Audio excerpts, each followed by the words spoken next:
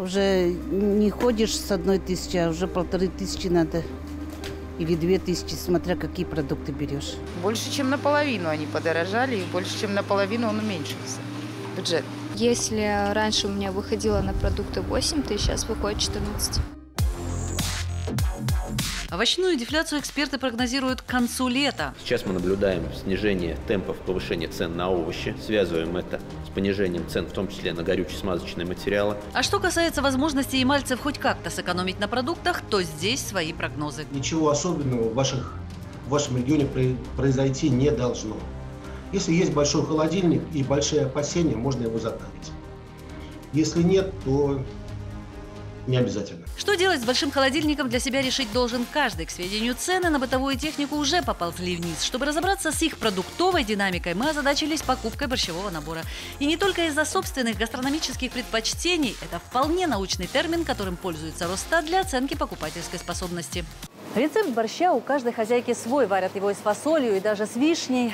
Но набор Росстата куда прозаичнее. Капуста, лук, картофель, свекла и морковь. Берем всего по килограмму.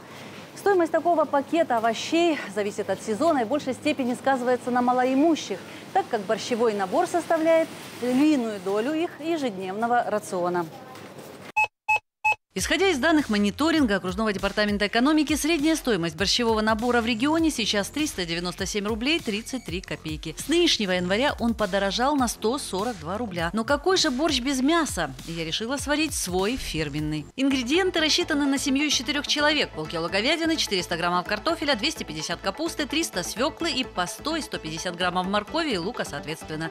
Напомню, в январе кастрюля такого борща для ямальцев в среднем обходилась в 298 рублей. Но сейчас она стоит на четверть дороже – 374 рубля. Больше всего выросли в цене свекла и капуста, за ними следует лук, морковь и картофель. Замыкает список говядина с показателем плюс 17% с небольшим. Стоит отметить, показатель борщевого набора частенько подвергается критике со стороны экспертов. Я считаю, что потребитель должен анализировать именно набор тех социальных тов- товаров, которые входят в его корзину в своем регионе. А вот цена борщ- борщевого набора, в котором выросла, допустим, э, цена свеклы, которую потребитель потреб- покупает раз там в два месяца, это от лукавого все. И все же борщевой набор обсуждается порой на совещаниях, вплоть до президентских. Его стоимость в нынешнем году пока не обсуждалась на высшем уровне, а вот в прошлом, 2021 за рост цен на морковь и снижение посевных площадей свеклы министрам пришлось отчитываться перед президентом лично. Светлана Лач, Тимур Абдрашитов, Роман Демьянов. Время и мало.